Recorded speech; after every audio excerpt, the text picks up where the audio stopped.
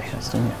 So uh, yeah, pick up your prelim uh, uh, exam as well as uh, print out of the solutions. And if you haven't, you can do that in the end of the class again. So, um, and just want to maybe spend a few minutes talking about the exam and some observations and maybe suggestions for the second round. Um, Uh, uh, I, I, think on an, this was uh, this exam is was on the easier side uh, for the class, and um, and I think most of you got what was being asked, and that's a good sign.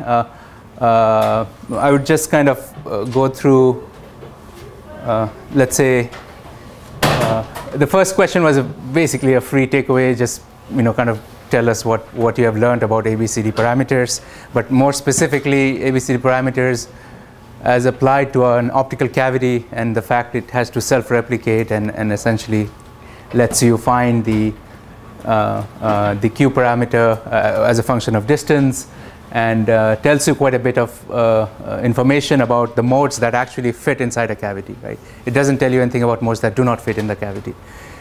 so, and, and how the beam sh sh shape changes, the curvatures must match at the, the shapes of the mirrors and so on, right? So that's what this tells us. Uh, and the second question was uh, uh, essentially about the stability of, of uh, uh, a cavity. And I would say most of you did get it, and some of you thought probably that the question was asking something different. I would say that in general, I've been very lenient in grading this exam, and if you showed uh, some steps which uh, were relevant, you have been awarded points. But nevertheless, if you think that you deserve more points, please come back and see me. Okay, so, and, and, and this problem, what I was, the reason kind of the exam was open book was you could kind of pick up a formula. There's a formula that was derived in the book, which uh, uh, you did not have to rederive, but if you, uh, some of you actually did rederive it, and that's also great. Uh, but uh, if you have uh, two mirrors of a, radii r1 and r2 and the distance is d, of course you can use the ABCD parameter and derive the stability criteria for this, right? For this situation.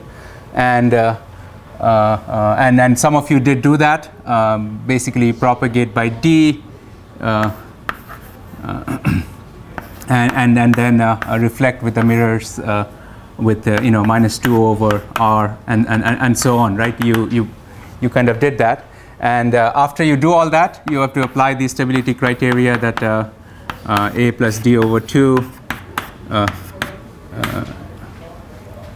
or ba basically I'm going to just write the end result. The end result is uh, if one mirror has radius d R1 and the other has radius R2, then uh, uh, the stability criteria is really G1 times G2 must be between 0 and 1. Right? That's, that, that's really what it is. And, uh, uh and because here uh, what you have is one of them has R plus delta R and R, sorry, R2 is r minus delta r.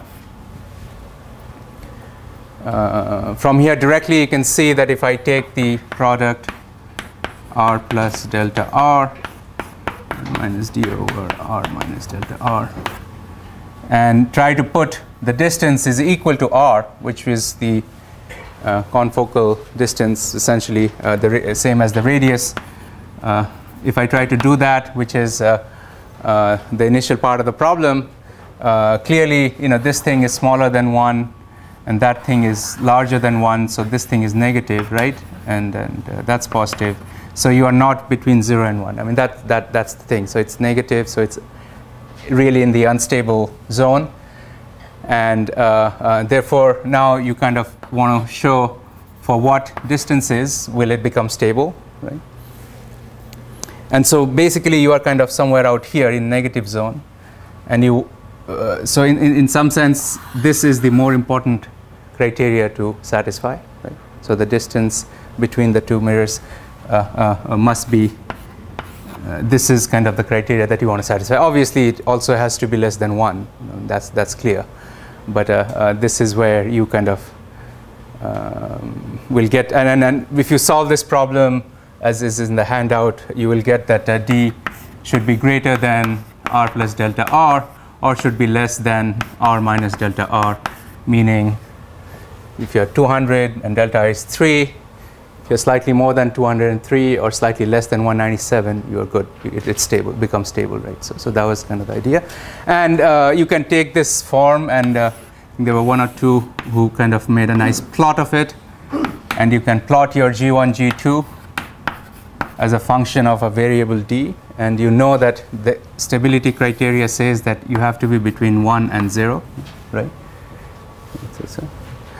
And when you make a plot of this quantity, you'll notice that it's, uh, it looks, uh, you know, something like that. And uh, where this one was, you know, r, this is r plus delta r, and this is r minus delta r.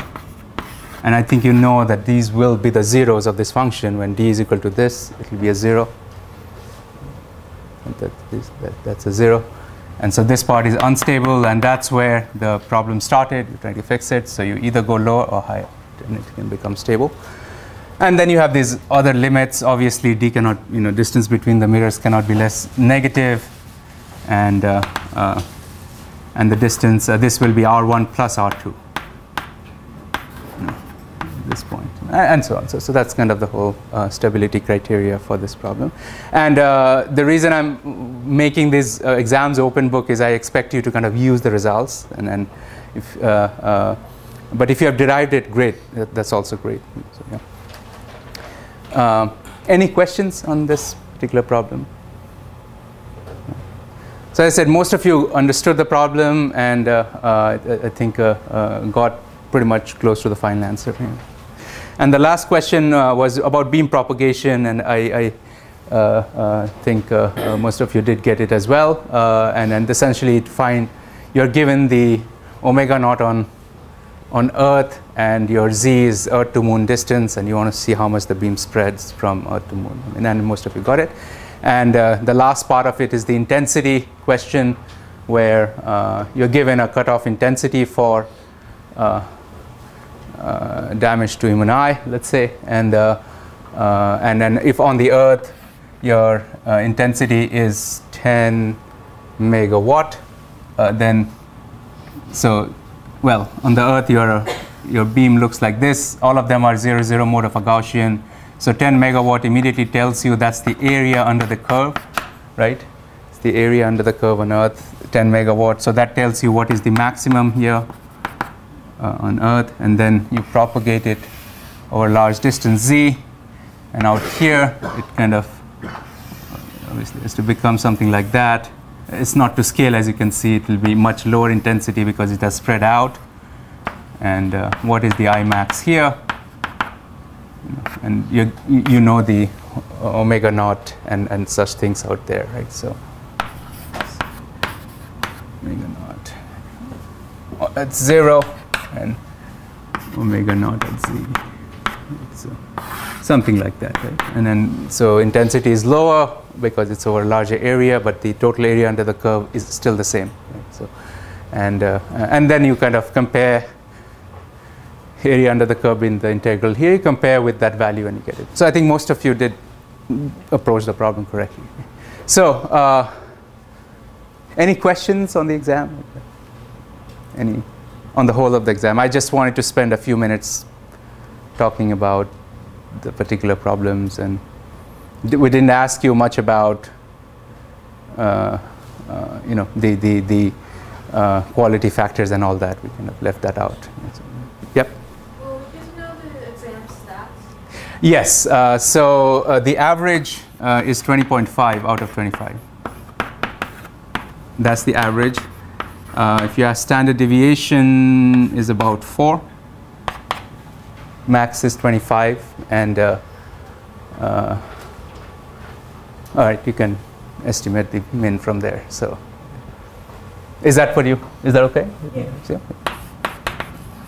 and uh, I've said also that uh, the this is one one exam. Uh, there's a reasonably strong weightage for your assignments and uh, another prelim and final. So in case you missed a problem, it's not the end of the world. I mean, you have a whole uh, rest of the semester and uh, number of assignments to make up. If you have done well, great. I mean, continue doing that. okay.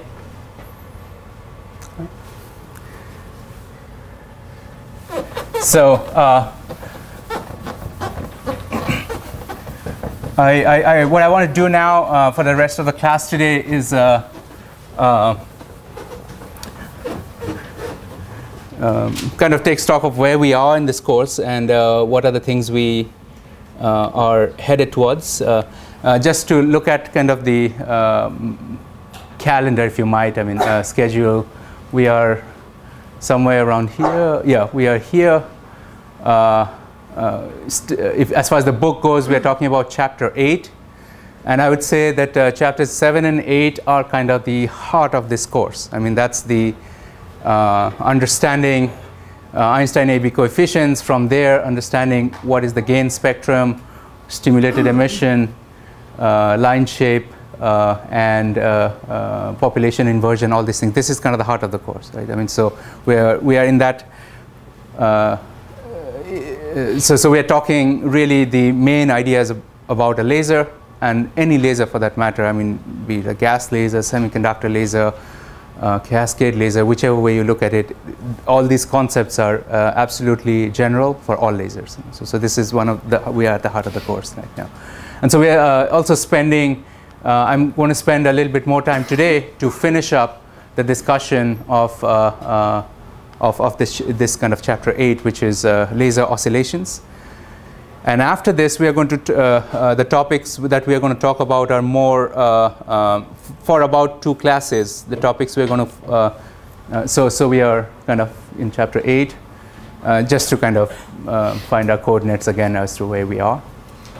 So Clif talked about uh, large part of this chapter already, and I'm going to kind of finish up and kind of summarize again about what, what, what, what, the, what are the core concepts of uh, laser oscillation and amplification. And uh, then we will continue uh, by looking at a few general classes of lasers. Uh, uh, and a few nice things about lasers, mode locking, Q switching, and such things. That will be the next thing after we understand how the basic laser works. Um, and then uh, later on in this course, uh, we will, after looking at general characteristics of various kinds of lasers, we're going to look at how do you pump a laser. I mean, that, that was a, always a recurring question. How do you create stimulated, uh, create population inversion? And uh, you can have electrical injection, you can uh, have optical illumination. So there are all kinds of uh, pumping mechanisms. We're going to talk about that. And then after we talk about general characteristics of lasers and mechanisms of optical pumping. Uh, we're going to talk, spend quite a bit of time talking about semiconductor lasers, semiconductor-based uh, lasers specifically, uh, where we are going to show, go deeper, do a deeper dive into laser oscillation, general characteristics, pumping, looking at it as a special case of a laser, semiconductor laser, which I think uh, uh, uh, hope you uh, realize that that really underpins most of the communication today, semiconductor lasers. and how fast can you switch them? What is the threshold of a semiconductor laser and, and so, so on. We're going to look at that. So after the special case, we are going to uh, spend probably um, maybe two or three weeks uh, going even deeper into the physics of the laser, into a little bit more into the classical electromagnetic picture, and also into the quantum theory of a laser towards the end of the course. We're going to do that. Um, so, uh, uh, just to kind of uh, realize that we uh, have already invoked quite a bit of uh, classical mechanics in from Maxwell's electromagnetic waves, and we have also invoked some bit of quantum mechanics from the Planck black body radiation sort of picture and Einstein AB coefficients, right? But at this stage, if you look at uh, how our laser, uh, how are we looking at the laser right now, you'll see that all these details of, uh, you know, uh, of the uh, wave propagation, of quantum mechanics of the atoms, the nature of atoms are kind of absorbed into a few coefficients, right? I mean, that's they're kind of an we have an effective way of looking at a laser, an effective theory where all the microscopic details have kind of vanished into a few few coefficients. That's how that's the stage we are at. You know, I, for example, saturation intensity and under. They have a lot of microscopic details buried inside them. But if you are a user of a laser, a designer of a laser, you are not, uh, and you have chosen your materials, those things are locked in. You know, and now we are looking at how does it, you know, what is the threshold, what is the dynamics of it, and such things. That's what we're looking at right now, right? So, um, okay, so uh, I'll do a, a, a, one of the short summaries. Uh, I want to kind of uh, you know, because it's after the break, just a, a very quick uh, uh, so, so, sort of summary. Uh, so you have, we are looking at two populations uh, or, you know, atoms with the electrons in two states or two different kinds of atoms, basically uh, two energy states of either atomic or electronic systems. And then uh, what we started out with was there were three potential processes that can take uh, uh, electrons from one state to another. Uh, and the first uh, obviously was the spontaneous emission from A2 to 1, right? The, the, these are the Einstein AB coefficients now. and then there is a absorption coefficient from 1 to 2 that goes as B1 to 2, right? And the third is the more interesting one, which is uh, uh, for the laser, which is the stimulated emission, and, and that's again uh, B 2 to 1. Right? So, so, those are the three coefficients of the laser. Uh, and uh, your energy separation is h nu between the two states, and that's kind of the central oscillation frequency that we desire for the laser. And I think uh, Clif already discussed in, in, in with you that uh, you know, based on rate equations and such things, you realize that uh, if you just start with a two-level system, you cannot get it to really laze. You need a third level, that's a zero, and you pump from here, and, and you kind of start emptying out states from there with tau 2 and tau 1 and all that. And those give you your uh, standard rate equations for getting it to uh, laze and such things. Uh, so uh, what I want to kind of uh, get towards is, is uh, uh, based on you know, the analysis of the rate equations and, uh, and, and the realization that, for example, you could relate B12 and B21 to this, right? And this you can directly measure, right? The spontaneous emission lifetime. Uh, or, or essentially, if you just populate state 2 uh, it will spontaneously decay into state 1 when there is no chance of stimulated emission when n2 minus n1 is less is negative there's no stimulated emission. Therefore you can directly measure you can kind of uh, uh um, measure the lifetime of excited states and from there you can measure your a to 1 directly right? Right so so so in some sense d n2 over dt is minus a to 1 and 2, right? Uh, that's how it decays. And then you have the other terms uh, which 1 to 2 bring in states from. Uh, uh let me write this down because this is the the the uh, uh, central equation of all all lasers. so B12 would be the absorption. Right? You can call it spontaneous absorption or just absorption, and, and that will be proportional to number of one states, right? And then, uh, uh, uh, and then obviously it has ha has to have something to absorb, and that is your, uh, well, from uh, if you had radiation, you know, light floating around of all frequencies nu, of frequency nu, all kinds of frequencies, then then it will be, you know, that radiation light field will be here, right? And then uh, the, the third process would be uh, uh, the stimulated emission, which is B21, stimulated emission, B21, right? And that's proportional to N2, the starting uh, quality, uh, number, and uh, also proportional to the radiation field that already exists, which is going to stimulate it, right? That, that was the idea.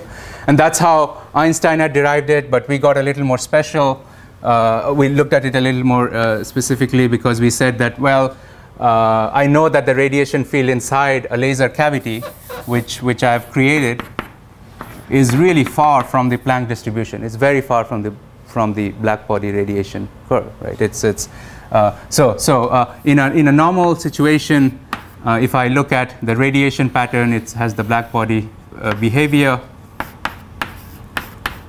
right? And then you have some atoms that may have, you know, uh, uh, some sort of a line shapes of emission. If the atom is inside a box or whatever, a large box, it may have maybe a line shape of like that. This was the line shape function. Remember the difference between the radiation field and this?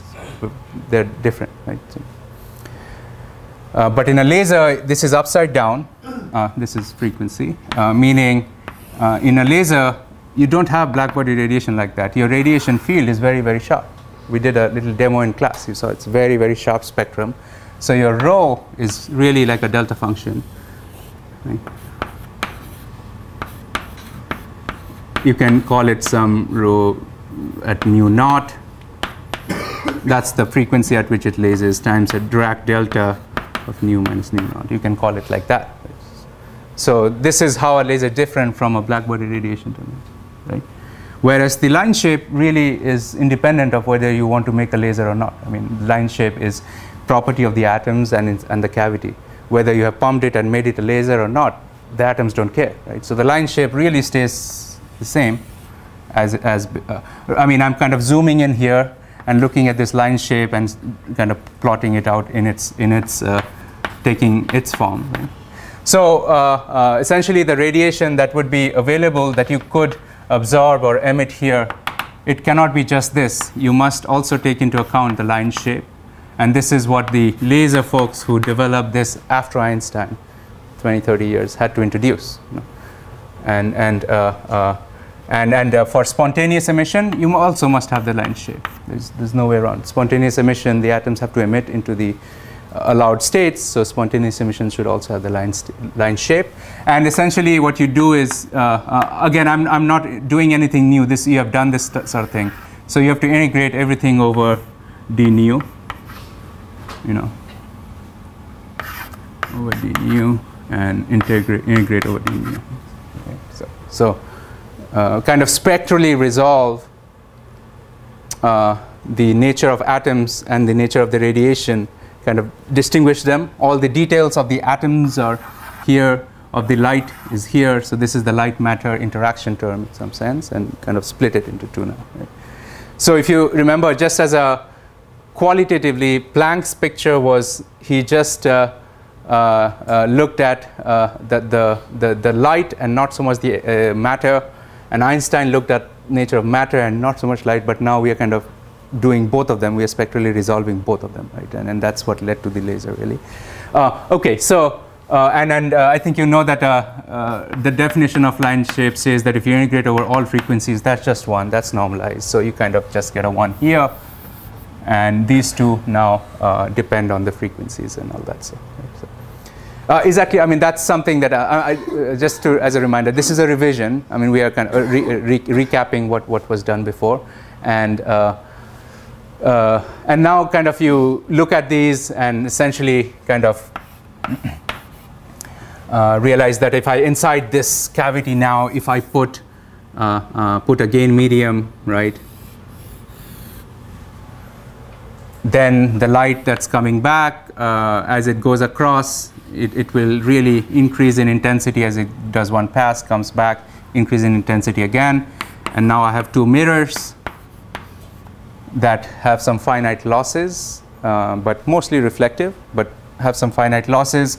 So uh, as I start pumping the laser, uh, you know, uh, I can pump it optically or electrically, whichever way, and I create stimulated, uh, I create population inversion here, and that thing is captured by n2 minus g2 over g1 times n1, that factor. That's, this is a population inversion term, right? That, that, that tells you how are you exciting it, and this is, this is one of the terms that goes into your gain, right? The gain spectrum.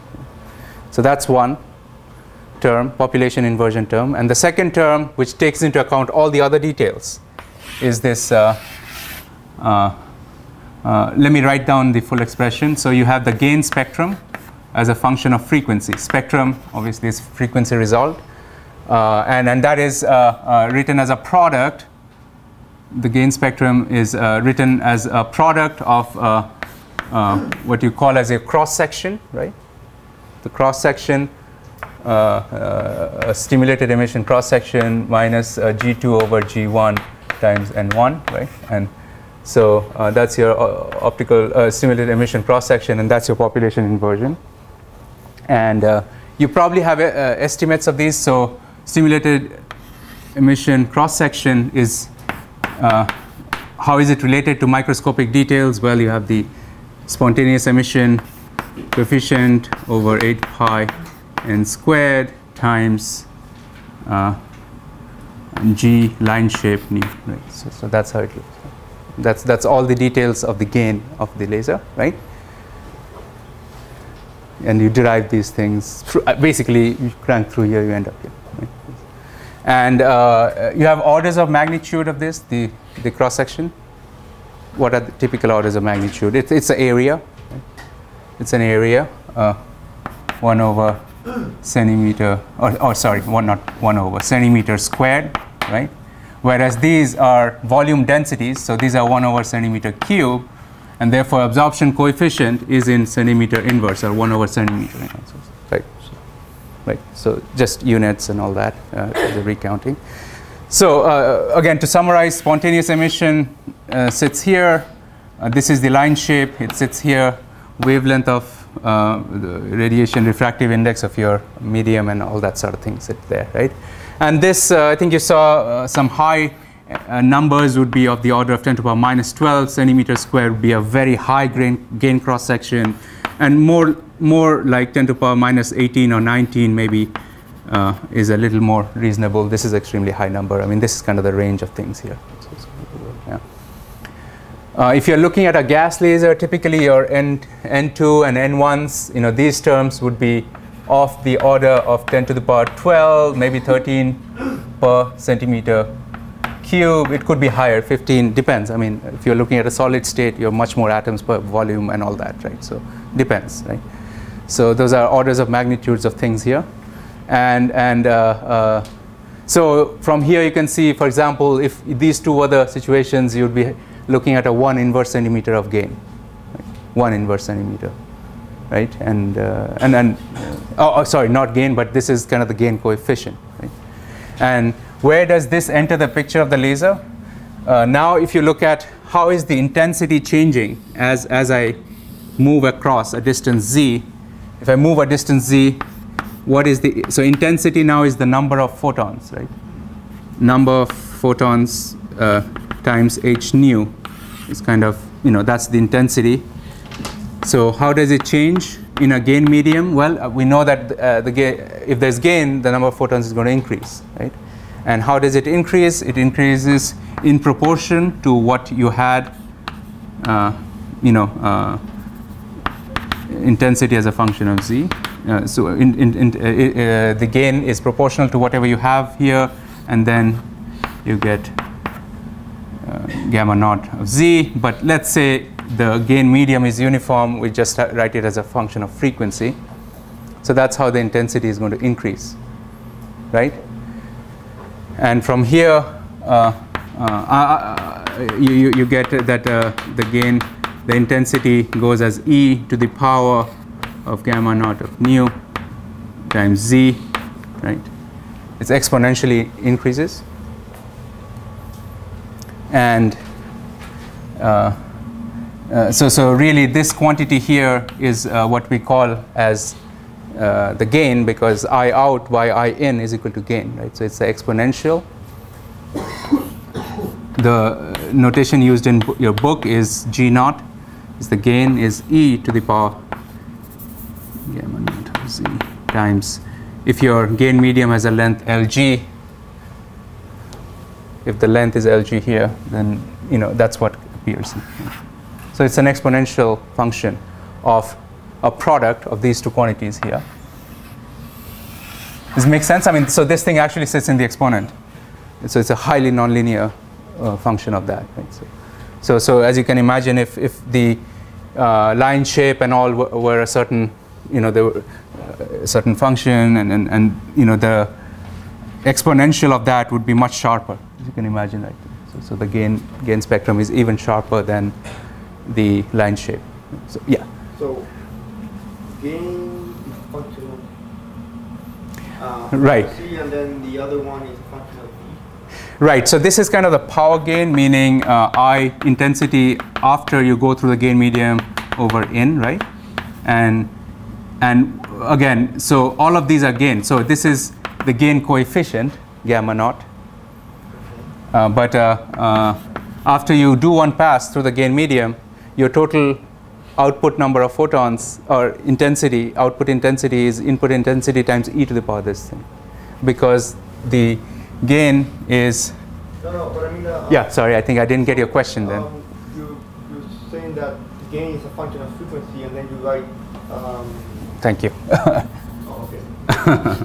Thank you. No, that's frequency. Yeah, yeah, frequency. Not not z. Uh, we are not talking about uh, materials that may have non-uniform gain. Some do. I mean, and, and we're not getting into that complication at this point. But yeah.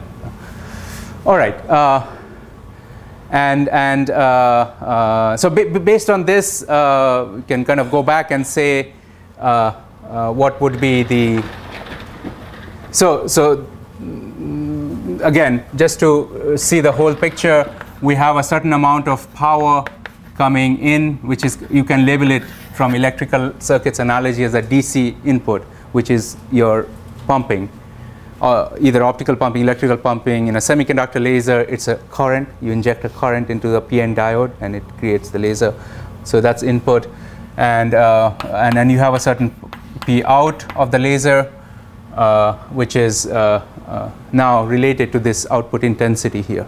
So, so this is output intensity. Actually, it's exactly the same thing. right? So, and and and the uh, um, picture again, and this way we will come back again, um, multiple times. Is is uh, the analogy is really that uh, you have uh, well, uh, you have a, a bucket, but uh, with a uh, you know little opening here, and you are pumping in energy in form of electrons, holes, whichever way, pumping in energy right, into this bucket, and then there is a certain rate at which it can go out, which is determined by R1s and R2s and all these things, right? And uh, uh, and uh, there is, as a result, um, I, I think you kind of know that you will, if there are two rates, P in and P out, and there's a so um, there will be other mechanisms of loss and so on, but there will be a certain steady state power build up here based on the difference of these rates, right? Steady state, and and so there will be a lot more energy stored inside the laser than what's coming out. So, so, right, just and then you're getting a small fraction of it out, and you have you have seen that, and the picture there is the number of photons inside is much larger, but they are going back and forth, colliding with the walls, and every time maybe one percent leaks out. you know. So, so inside there is 99 times more power, for example. So, so that's the kind of the picture, which is why then the power, uh, uh, and, and there are always these other leakage mechanisms like heat and so on that will reduce this threshold, reduce the power and all that. So, and then they also uh, uh, determine the threshold right, of, the power. So that's one, one, one picture, and we're going to uh, this thing will be discussed multiple times now. I mean, I'm just doing it again here, but uh, we'll discuss it multiple times. Now, looking a little bit more into the details of uh, the microscopic processes again. Uh, uh, uh, so, um, or rather, let's let's finish discussing the entire lasing process and. Uh, uh, right. Okay. So the gain spectrum was given by that whole quantity there. You know your uh, cross section times the the uh, inversion threshold, and this is straight out of your book, really. And I think you kind of uh, realize right away that uh, your losses, if you, let's say for a second, we neglect the uh, transmission losses through this. I mean, this is just a gain medium for us. Where there's a certain amount of reflection every time the light enters. There's a little reflection. We're going to let's forget about it for a second, and uh, it's very easy to take into account uh, what uh, uh, are those uh, losses as well. But I think you kind of know that the, th- how do you find the threshold of any laser? For example, this situation. So you have a, reflection coefficient R1, uh, then you go across and get a gain of G inside, right? And that, that G is really e to the power gamma naught at that frequency times the gain, length of the gain medium, right? So loss, gain, then you hit the other meter, loss again, go back again, gain again, right? Times LG, and uh, that's kind of the round trip thing for you. It should be greater than one. It's very simple. No rocket science there. It's very straightforward. If you have any transmission losses inside, you just add them in here, right? No problem. T2, whatever be it, right? So you just add them in there. But let's simplify it and not worry about those things now.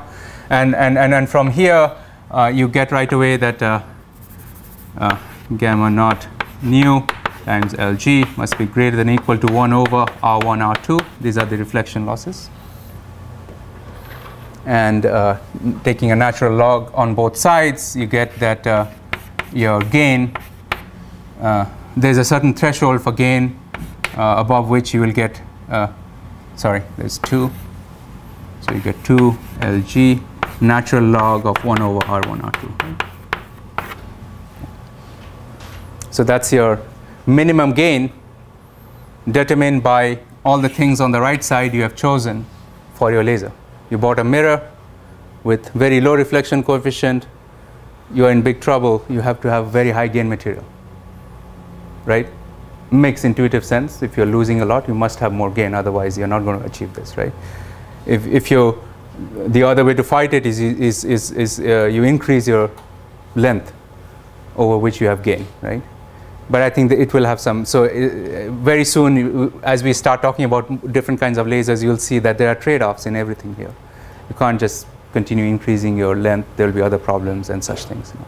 As you keep losing energy to the sides, to spontaneous emission, we're going to talk about that now a little bit. So, uh, so uh, you know, and and so on. But this is kind of the threshold for the for the laser, right? and you can go back and relate it to your cross section and N2 minus G2 over uh, G1 N1, right? And then you can relate now. If you know cross section, you can take it there, find how much inversion you need, right? Population inversion you need.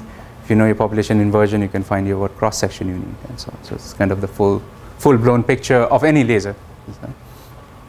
Now, the uh, normal shape of a, uh, emission, if you had no cavities, would be like this, right? If you had just a gain medium and you were exciting it, this would be kind of the normal shape of emission. This is where all the light will get emitted. It's kind of the line shape, right?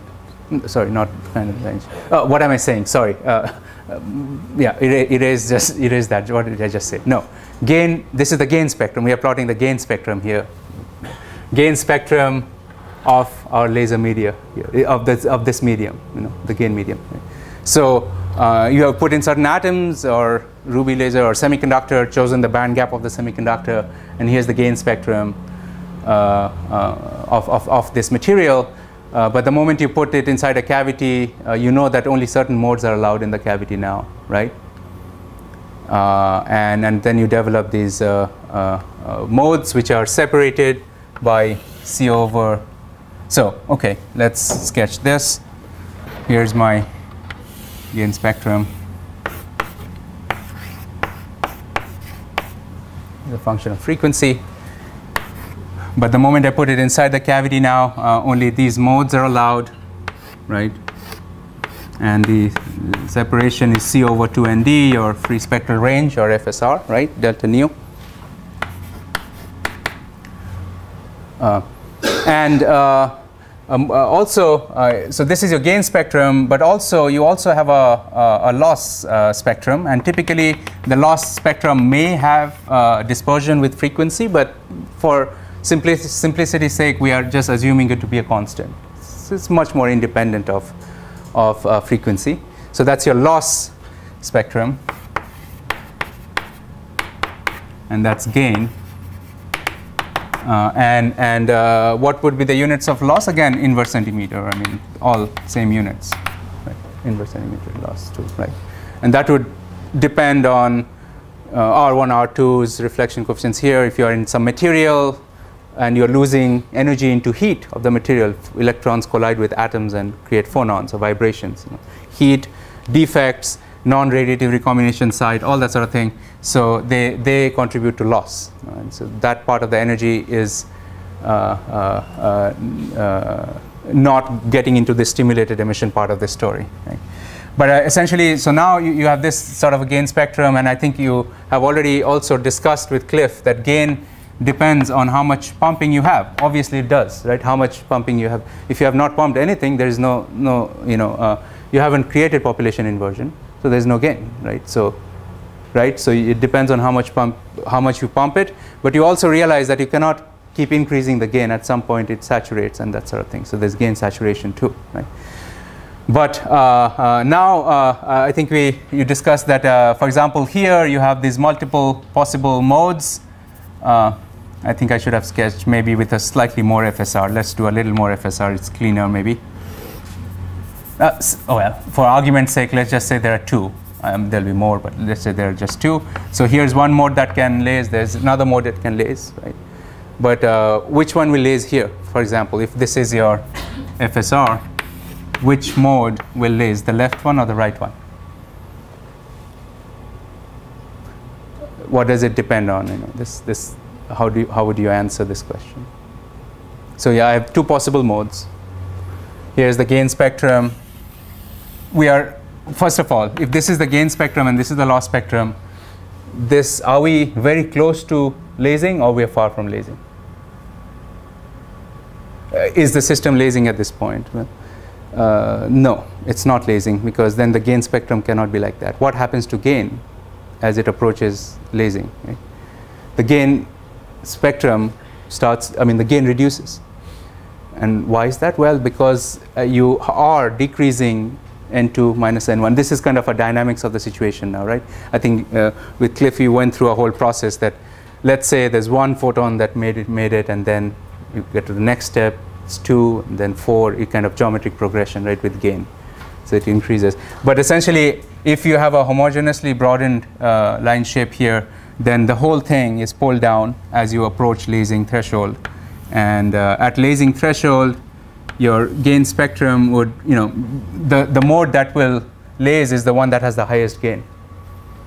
You know, this one has the higher gain than that one, for example. So that's the one that's going to survive in the end and, and the gain spectrum will kind of come down here.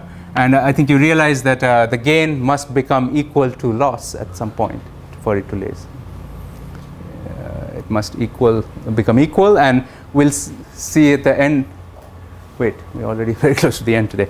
Uh, that uh, that uh, you know that that that that's what. Even though you have a gain of say 5,000, uh, in the end your gain would be 1.05 when you're lasing, because because the, the rate equation for uh, number of photons uh, inside the cavity is equal to uh, uh, whatever photons you are generating by spontaneous emission. So let's say you have a certain spontaneous emission cross section, which we already wrote there, times the number of atoms in the second state uh, uh, times so the rate of change of the number of photons inside the cavity and, and there's speed, speed of light c. So this is your spontaneous emission term, rate at which uh, photons are being generated because of uh, spontaneous emission.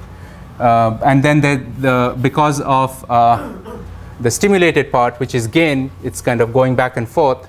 It's all, you know, the photons are going back and forth. So that looks like G, G you know every round trip you have two two uh, gain so this is e to the power gamma right so and you get r1 r2 minus 1 over 2 and d over c is kind of the time it takes for you to uh, so and then there is n2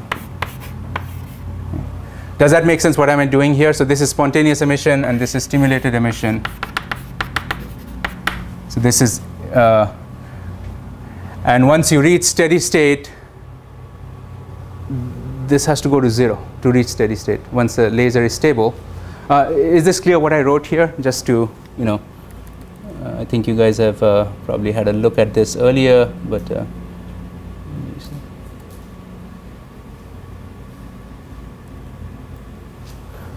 oh, sorry, what am I doing here? G square. Um, perhaps I'll, I'll kind of try to rederive it a little bit, but essentially this is your gain uh, every uh, uh, inside, inside laser, and this is your lifetime photon lifetime inside the cavity, and uh, uh, or, or for a round trip, and this number tells you uh, how much photons are we gaining by stimulated emission. This is by spontaneous emission, and it's very weird to look at it and say that well, actually this term to reach steady state this must go to zero. And this is always positive. Uh, this spontaneous emission term is always positive. Therefore this actually should be negative. And, and that's very interesting. So the, what does that mean? It means that the gain saturation of the gain there, there must be gain saturation.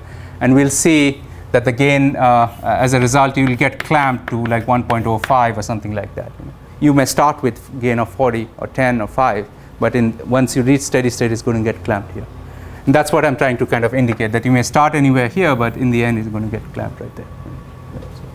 So, uh, okay, and and uh, uh, so there may be multiple modes that may have a chance of lasing, but the one that survives in the end uh, among these all allowed modes is the one that uh, uh, has the highest gain. For example, it's here, and and the gain spectrum is pulled down, and it locks in here, and at that particular mode, your gain is actually, uh, uh, well, okay, you can calculate your gain. And, this is kind of an effective equation. You can kind of solve it without getting into all details of the laser. You can kind of get it right away. You know? So, so that's very useful. Right? Uh, okay, so um, let me see. So I think I have a probably a few minutes. Uh, what, what's the time now? I think I know that's a little fast, right? So we have like three or four minutes. How much time do we have? till 11? Yeah. yeah. okay. So uh, what I wanted to do was uh, uh, maybe just point out a few things that uh, Clif has said. This is kind of more of a review again. So the uh, this is a picture of what is being plotted. This again from your book. So essentially, if you take your laser and you put a detector here and and say what's coming out here. I mean, remember the laser is uh, the laser stimulated emission beam is going there. But it, there's also uh, spontaneous emission stuff coming out from the sides. You, know. so you cannot stop spontaneous emission. That's kind of the baseline. So you can detect spontaneous emission here. And then what you do is you start pumping your uh, excitation or the in intensity, pumping intensity, you increase it, and you track spontaneous emission.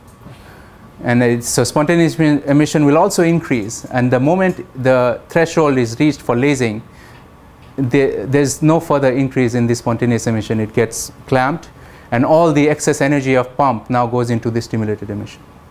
So that's that's the picture, and, and I think that's that's where uh, that cup falls out directly of these rate equations, and then that's what you did with Clif. Uh, uh, you can find out your dependence of the number of states, excited states, and two during you know when you reach threshold for lasing, N1 is negligible, N2 is very high.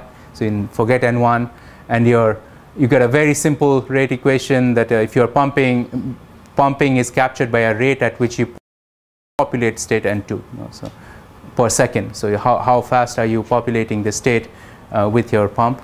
And uh, that's R2 naught or R2 zero. And the lifetime of that state is tau. And I think you know that the rate times lifetime is a number, right? And, and uh, the rate at which you pump times the rate at which you lose them is, is the steady state value of that number, right? So, so that's the time. But it depends on intensity, and it depends on intensity like this. There's a denominator 1 plus I nu over I, I saturation. This is the saturation intensity is given by photon energy divided by cross section times the lifetime of that state. So it's kind of all self-consistent in some sense. So as you increase the intensity, the N2 is not really keeping up. It's kind of starting to flatten out and it's going to saturate if your I becomes much larger than IS. Right? Now that's the steady state behavior. What is the time behavior? That's the dynamics. I mean these are rate equations, so you get a e to the power minus thing, so that there's exponential buildup. And uh, the time constants are tau 2 divided by 1 plus this I intensity. So the rate is also dependent on the intensity at which you pump. And obviously it should be if you think about it, right? It, it must be uh, also dependent on it. And then uh, all, all, the upshot of all that is, is you get your amplification uh, and all that. So, uh, wait, what happened here? Um, okay, so uh, and then here are the plots of the rates, and I think you have one, you solved one problem, and we'll have a few more. So uh, in case, okay, so I'm kind of I wanted to talk about amplified spontaneous emission, and uh, uh, finish up maybe in the next class with chapter eight discussion, just to you know. look at a laser from a slightly different perspective, and this is again the end of chapter 8 in your book. We'll do that on Friday. And uh, we'll finish this topic up and uh, start with different kinds of lasers on uh, next week then. Okay, okay, good. Thank you.